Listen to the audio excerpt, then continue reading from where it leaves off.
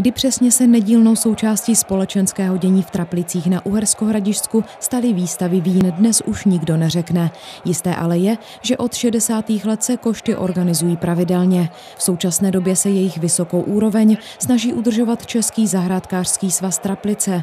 Zatím poslední výstava se uskutečnila v sobotu 8. března v tělocvičně základní školy. Letos mohli milovníci vína koštovat 475 vzorků. Tak asi dvě třetiny jsou bílých a, a ta třetina červených. To, co se tady v okolí hodně pěstuje, že Rulanda bílá, Riesling z červených je to Vavřinec, Frankovka, Zweigl, takže tradiční odrůdy, Miller, Turgau a podobně.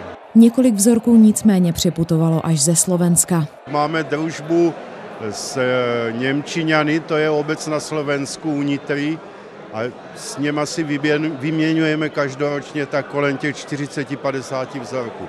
Takže tady máme vína i z toho Slovenska a některé i z jihu, ale v menší míře. Téměř 500 vzorků se hodnotilo začátkem března ve 12 komisích.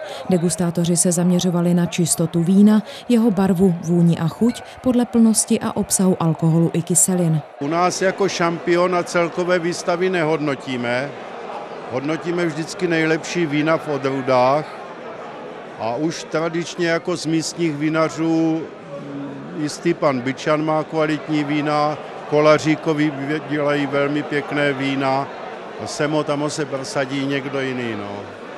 Místní vinaři opravdu nesklamali. Nejharmoničtější rulanské bílé měl Jiří Kolařík z Traplic. Hodnotitelům ale chutnal i šoustkův Riesling Rýnský z Polešovic.